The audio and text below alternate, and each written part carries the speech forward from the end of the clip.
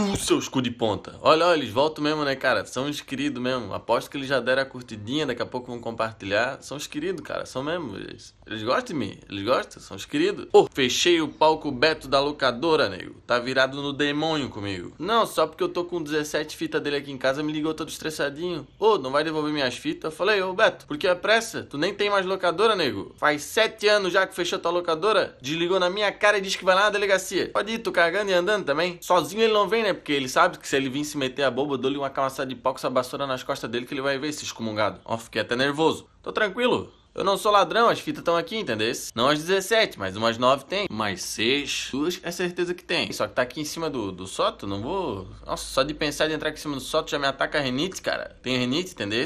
Puxa, eu vou ficar aí a semana toda empalamado por causa do beto da locadora que nem tem mais locadora. Cara, vou ter que ir atrás de escada. Vou lá no Valmir pegar a escada emprestada dele. Ele já vai perguntar o que, que eu fiz com a furadeira dele. Olha o balaio de gato, só por causa que o Beto quer as fitas dele que nem mais locadora tu tem, Beto. Embora, Beto. Não tenho por que eu ficar me estressando e ir atrás de fita pro Beto se ele nem tem mais locadora. Devia ter me cobrado antes, né, Beto? Bobeasse, nego. Eu sempre alugava umas 30 fitas. Eu sempre paguei certinho, entendesse? Mas é que eu alugava umas 30 fitas de uma vez pra alugar pros outros, entendesse? É tipo terceirizar. Vou explicar pra vocês. Eu fazia assim, eu alugava as 30 melhores Aí eu ficava ali fora, só de baga. Quando alguém entrava na locadora, esperava, a pessoa saía sem nenhuma fita, eu chegava e perguntava: E aí, ô querido, não alugasse nada? E a pessoa fala: Não, o Beto tá sem filme aí, o que eu queria não tem. Ou tem várias fitas lá em casa pra ti, tem uma locadorazinha lá, entendeu? Se quiser ir lá alugar, é um pouquinho mais caro, mas tem só filme baita, nego. Rei Leão, Ninja Branco, aquela do, do, do Parque dos Dinossauros, meu Deus, ganhei, uma, ganhei um dinheirão com aquela fita, nego. Aí eu alugava pra pessoa a fita que eu aluguei do Beto, entendesse? Mas eu não tinha um controle, assim, planilha de, de Excel, essas coisas, não tinha. Eu só confiava na pessoa, mas assim, eu sou certinho, mas tem pessoa que não é, entendesse? Aí tem gente que nunca mais me devolveu a fita, mas assim, eu não posso ficar indo atrás de, de fita pro Beto. Tem nada a ver comigo isso aí, cara.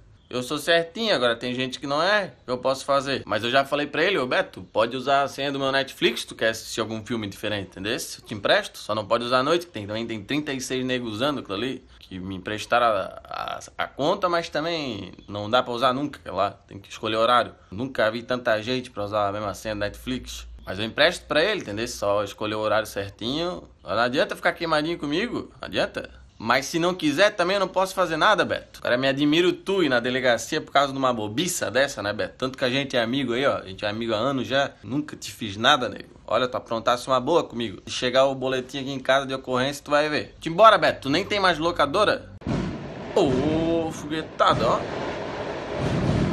Ô, oh, chegou droga. Chegou droga.